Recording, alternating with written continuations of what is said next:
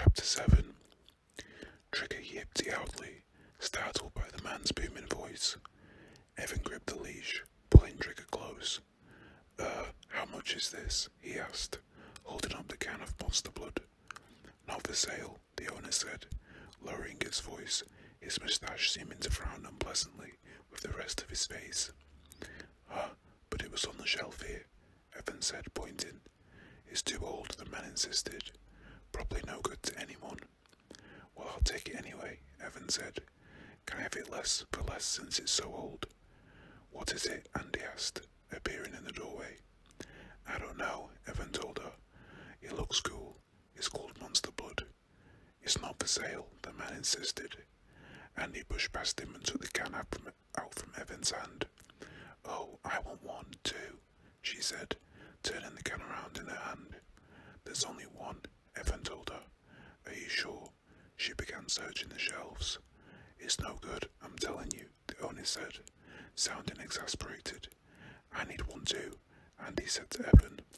Sorry, Evan replied, taking the can back. I saw it first. I'll buy it from you, Andy said. Why don't you two share it? the owner suggested. You mean you'll sell to us? Evan asked eagerly. The man shrugged and scratched his ear. How much? Evan asked. You sure you don't have another one? Andy demanded, going back to the shelf, pushing a pile of stuffed pandas out of her way. Or maybe two. I could keep one and give one to my cousin. Two dollars, I guess, the man told Evan. But I'm telling you, it's no good. It's too old. I don't care, Evan said, reaching into his pocket for the ten dollar bill.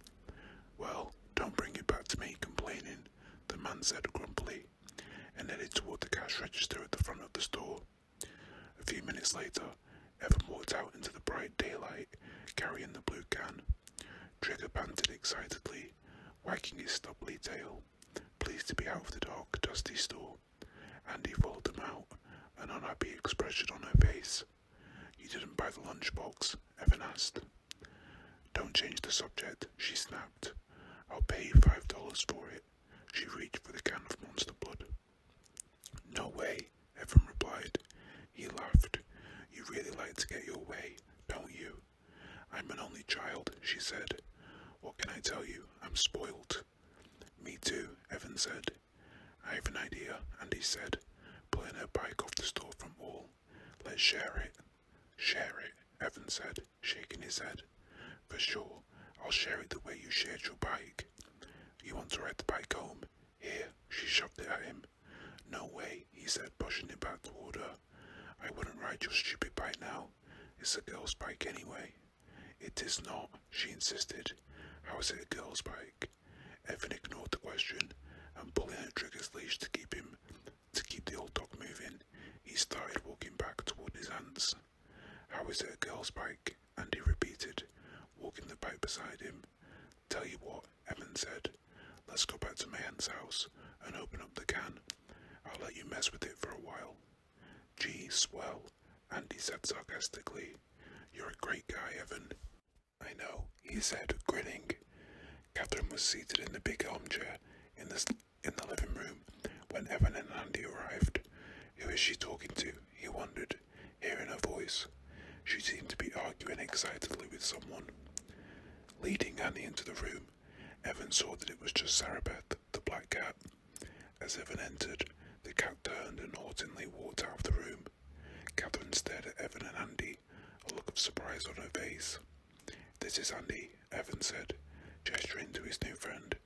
What have you got there? Kathryn asked, ignoring Andy and reaching a large hand out for the blue can of monster blood. Evan reluctantly handed it to her. Frowning, she folded it around in her hand, spotting to read the label. Moving her lips as she read, she held the can for the longest time, seemingly to st- seeming to study it carefully, then finally handed it back to Evan. As Evan took it back and started to his room with Andy, he heard Kathryn say something to him in a low whisper. He couldn't quite hear what she'd said. It sounded like, be careful, but he wasn't sure. He turned to see Sarabeth staring at him from the doorway, her yellow eyes glowing in the dim light. My aunt is completely deaf, Evan explained to Andy as they climbed the stairs. Does that mean you can play your stereo as loud as you want? Andy asked. I don't think Aunt Kathryn has a stereo, Evan said. That's too bad, Andy said, walking around Evan's room, pulling back the window curtains and looking down on Trigger, huddled unhappily in his bed. Is she really your great aunt? Andy asked. She doesn't look very old. It's the black hair, Evan replied, setting the can of monster blood on the desk in the centre of the room. It makes her look young. Hey, look at all these old books on magic stuff, Andy exclaimed. I wonder why your aunt has all these. She pulled one of the heavy old volumes from the shelf and blew away a layer of dust from the top. Maybe your aunt plans to come up here and cast a spell on you while you're sleeping and turn you into a newt. Maybe, Evan replied, grinning. What is a newt anyway? Andy shrugged. Some kind of lizard, I think. She flipped through the yellowed pages of the old book. I thought you said there was nothing to do here, she told Evan. You could read all these school books. Thrills and chills, Evan said sarcastically. Replacing the book on the shelf, Andy came over to the desk and stood next to Evan, her eyes on the her eyes on the can of monster blood. Open it up. It's so old. It's probably all disgusting and rotten. I hope so, Evan said. He picked up the can and studied it. No instructions. Just pull off the top, she said impatiently. He tugged at it, but it wouldn't budge. Maybe you need a can opener or something, she said. Very helpful, studying the label again. Look at this. No instructions, no ingredients, nothing. Of course not, it's monster blood, she exclaimed, imitating Count Dracula. She grabbed Evan's neck and pretended to strangle him. He laughed. Stop, you're not helping. He slammed the can down on the desktop,